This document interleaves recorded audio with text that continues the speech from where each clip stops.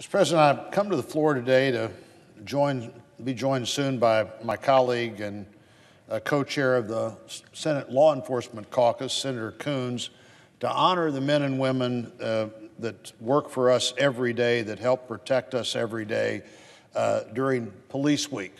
This is an annual event. It brings law enforcement officers to Washington from around the country and, of course, including uh, my state of Missouri. Now, as it turns out, Police Week is really a bad week uh, to rob a store in Washington. Um, the town full of uh, policemen, and just last week, several uh, would be robbers came out of a robbery and almost ran into a group of St. Louis area policemen and a New Jersey policeman. Uh, they immediately chased down and arrested um, the perpetrators of that crime. Uh, so, you know, criminals are often not very smart, but you have to be particularly not smart to decide you're going to rob a store in Washington during Police Week. Uh, and uh, thank goodness are those who service, uh, those who uh, wear blue and work to service and protect us every day, even do that when they're off duty and hundreds of miles away from home. So, congratulations to those officers for what they did while they're here, and nobody's very surprised by that. Really, when uh, Senator Coons and I came to the Senate uh, a little over eight years ago, we started trying to find a law enforcement caucus to join and find out there wasn't one. And so Senator Coons said to me, let's just start one. Uh, and we did. And this is the week we get a chance every year to talk about specifically what happens this week. We look for opportunities through the year to one, honor the people who work here protecting us every day, and two, to talk about things happening in the country that affect uh, people who protect us and uh, protect uh, police and sheriff's departments.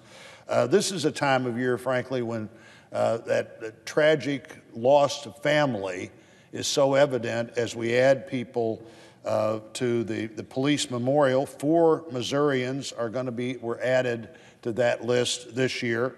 Uh, Deputy Sheriff Aaron Paul Roberts of the Greene County Sheriff's Office, the county I live in, died when his patrol car was swept into the Pomme de Terre River after he responded to a 911 call.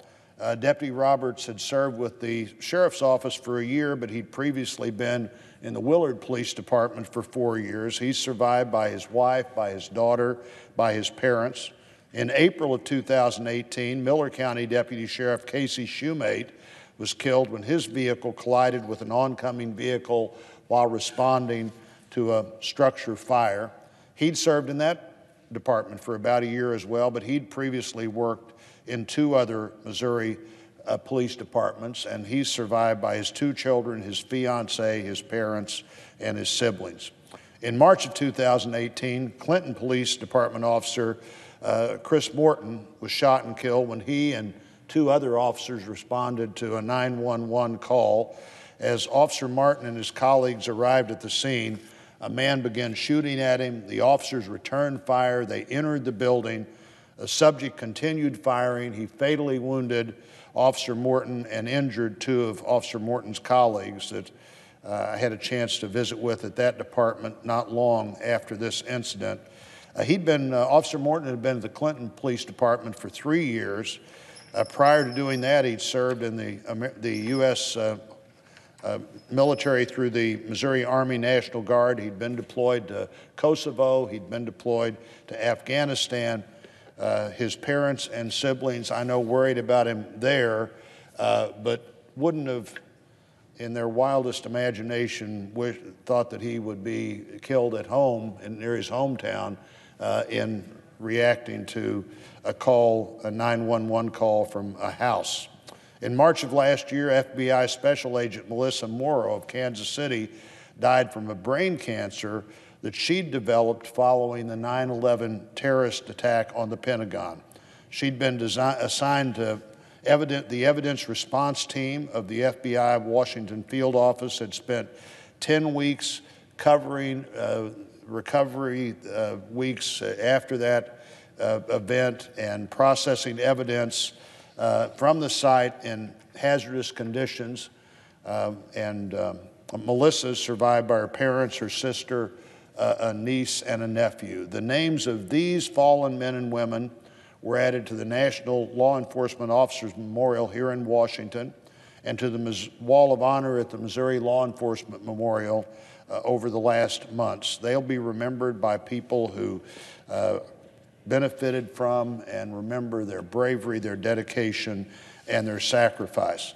This is a time when we honor those who serve us and particularly lives who have been lost, but it's also a time we ought to think about the things we can do to uh, serve them in a better way, to be sure that they have the equipment they need, the resources they need, the training they need. I mentioned at an event uh, earlier today that uh, for the last 50 years, uh, law enforcement and the emergency room has also been, unfortunately, for everybody involved, the de facto mental health delivery system in the country.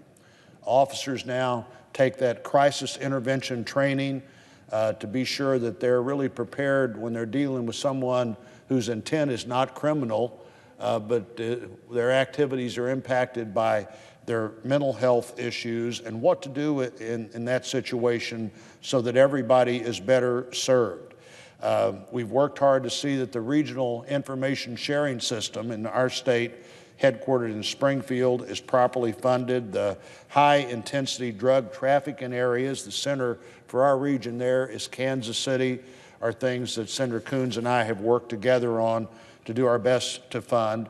Uh, and uh, for two different times now, we've worked together to extend the Victims of Child Abuse uh, program. Uh, last year, we again introduced the bill. I think the previous um, extension had been a five year extension. We came to the end of that.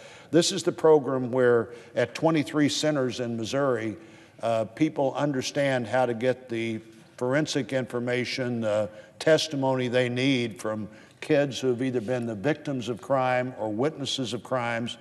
Every law enforcement person I've talked to, Senator Coons, every uh, prosecutor I've talked to, uh, believes that uh, what happens at these victims of child abuse centers can't be replaced anywhere else. Uh, and now we're working together on the National Law Enforcement Museum Commemorative Coin Act, a, a bill that the Congress passed last year and the House passed last year. I'm sorry, the Senate passed last year with our efforts. The House didn't get to it. We want to do that again. Uh, the Law Enforcement Museum uh, in Washington would be the beneficiary of the proceeds from that coin after the cost of the coin is paid. Uh, we're going to be working together uh, on that. Uh, I've worked, we've worked with other colleagues. I worked with Senator Pat Roberts from Kansas on the Kelsey, Kelsey Smith Act. It's named after Kelsey Smith, who wasn't found, 18 year old Kelsey Smith, who was abducted and murdered in 2007. This bill strengthens the ability of law enforcement to get the information they need, uh, the quick access to someone's cell phone that gives you an, uh, the information of where they might still be or where they last were when they separated from that phone, if that's what had happened. Uh, Senator Stabenow and I are continuing to work on the Mental Health and Addiction Treatment Act, something that uh, every time we have support testimony on that act. It always involves law enforcement who want more focus on mental health court, more focus on uh, drug court, but particularly more focus on the ability of officers to deal with the situation in the best possible way when they come upon that situation. So, remembering those who have fallen, continuing to work for those who stand up for us and run to the side, side of danger uh, as they shield us from danger is an important thing. And I'm glad to be joined today by my good friend Senator Coons from Delaware.